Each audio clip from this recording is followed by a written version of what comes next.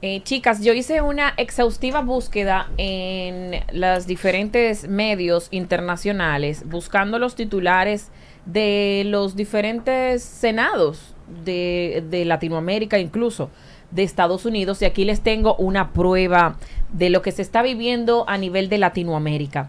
Bueno, el Congreso colombiano, uno de los titulares es que crea unas curules de paz. En estas curules se van a, a, tratar todos esos temas de guerrilla, de paz y cómo solucionar todo esto. En el Senado de Chile aprueban un, uh, este es el Senado de Argentina, que aprueba un nuevo régimen de biocombustibles. En este nuevo régimen lo que se pide es la diversificación de este tema y bueno, que no se centralice tanto ese sector. Ya en Chile, el Senado aprueba una propuesta para, bueno, garantizar el acceso al agua de todos sus ciudadanos. Y en el Senado de Estados Unidos se propone financiar la infraestructura con impuesto en criptomonedas. Un asunto incluso mucho más avanzado, nosotros no vamos por ahí. Pero esos son los titulares que se manejan de, con relación al Senado de los diferentes países que nos acompañan en este continente americano.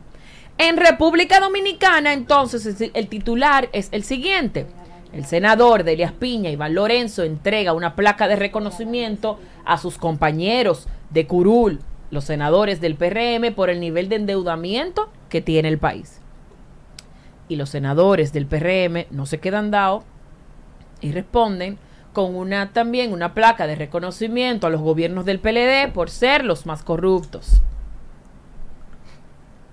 Esos son los titulares del Senado de nuestro país, República Dominicana. Usted tal vez está muerto de la risa detrás de la pantalla, porque a mí también me causa esto, todo esto es irrisorio. Yo todavía no logro entender, no logro entender, y bueno, era un comentario que hacía, creo que al, inicio de este, de la transmisión de este programa hace unos dos meses yo hablaba sobre esto, de abaratar los costos de la política, porque definitivamente nosotros tenemos en el Senado personas que no nos representan. Nosotros tenemos en el Senado una serie de, bueno, representantes que se supone que están ahí, se los recuerdo a ellos. Señores, sus funciones van más allá de ponerle un nombre a una calle de construir una cancha, de declarar patrimonio nacional la pelea de gallos, que eso fue debatido a nivel mundial. Salimos en todos los periódicos internacionales hablando sobre esto.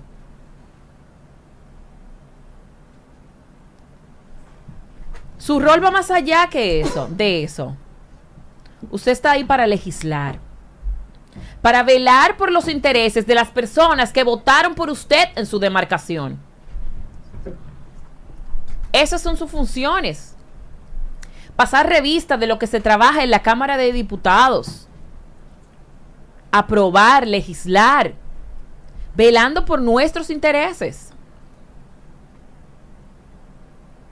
Es que en el Senado no debería hablarse ni siquiera de partidos políticos. Y usted llámeme idealista. Usted diga que lo que estoy hablando es una utopía. Pero en el Senado de la República ni siquiera debería existir partidos políticos. Cada vez que yo oigo noticias, cada vez que yo escucho a los presidentes de la Cámara de Diputados, del Senado, decir que si la bancada del PLD o la bancada del PRM o que tal proyecto no pasó porque no cuenta con suficientes votos, porque es la línea que se bajó de algún partido, lo escuchábamos mucho eso. Es que no debe existir esa diferencia. Usted está ahí para velar por los intereses de su demarcación.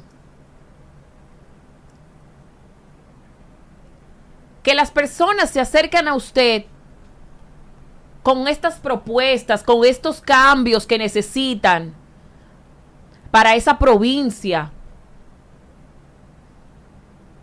Y cuando lo ven a usted con esa charlatanería, en el Senado, no me imagino yo cómo se sienten de haber votado por usted. ¿Cómo es posible que usted agote un turno en el Senado? Y sabemos todas aquí lo difícil que es que usted agote un turno en el Senado para saltar con semejante... Es que yo no lo quiero ni decir. Payasada. Es que, es que no es posible. Y mire, señor Iván Lorenzo, su rol opositor es sumamente importante para la democracia. Es importante que exista la oposición. El PRM, que estuvo mucho tiempo en la oposición, debe saber que es importante, porque si no fuera por esa oposición que hicieron, no fueran hoy gobierno. La oposición es importante para un sistema democrático. Pero de ahí usted convertirse, usted como nombre, ¿verdad? Con nombre y apellido. Convertirse en protagonista de la política, protagonista de una noticia. Entonces ya usted deja de ser senador. Usted está dejando de ser senador con eso. Usted se convierte en cualquier otra cosa. Cuando le ponía el ejemplo de los titulares del Senado de otros países de Latinoamérica, para que no digan que lo estoy comparando con Suecia ni con Noruega, lo estoy comparando con Latinoamérica, personas con igual nivel de necesidades que República Dominicana. Y en el Senado se están tratando temas de suma, de suma importancia. ¿Dónde está su compromiso social? ¿Dónde quedó? Su compromiso es con su gente, los que votaron por usted, que se levantaron por encima de una pandemia y fueron y votaron por usted porque pensaban que usted era el cambio que ellos necesitaban. Entonces, en esa provincia, ¿cómo se sentirán? Es que el Senado es más que eso. Es que usted no lo ha entendido y mientras sigamos llenando el Senado de riferos, de artistas, narco, de muchas otras personas, mientras lo sigamos llenando de personas que no están comprometidos con la sociedad, que lo que quieren es poder político, muchas de esas personas están forradas en billetes. No están ahí por esos 200, 300 mil pesos de sueldo. Le saben a nada.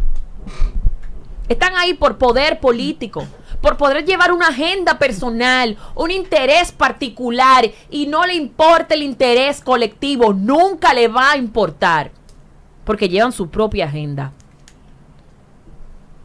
A veces ni siquiera la agenda de su partido, la agenda propia, personal, con un interés político muchas veces. Muchas veces lo que quieren es utilizar esa plataforma para catapultarse en otra. Muchos de ellos con una agenda presidencialista, lo vimos. Lo vimos en el pasado. Que salen de ahí con una agenda presidencialista y lo que quieren es montarse en el populismo del momento para ser tomados en cuenta y no logran entender que no hay publicidad, promoción, vaya, campaña publicitaria más eficaz que el boca a boca. Nada le gana a eso cuando usted hace lo correcto. No hay nada que le gane a eso. Usted puede comprar votos, claro que sí. Es una práctica de nuestro país. Usted puede comprar votos y ser diputado y ser senador y hasta ser presidente. Pero ¿y su trayectoria y su legado? Y entonces después que ahí qué? Después que pase de ahí qué? Yo sinceramente entiendo y repito, ha sido siempre mi propuesta, que abaratemos la política la única manera de que tengamos personas que se sientan realmente comprometidos, con un nivel de compromiso que los lleve a luchar por los intereses de esa demarcación, es abaratar la política, forjar líderes en nuestros barrios, en nuestras comunidades, que existen, que se lo digo yo, existen, que lo único que no tienen es recursos y por eso no forman parte de una curul. Y por eso nosotros tenemos que ser parte de este circo a diario.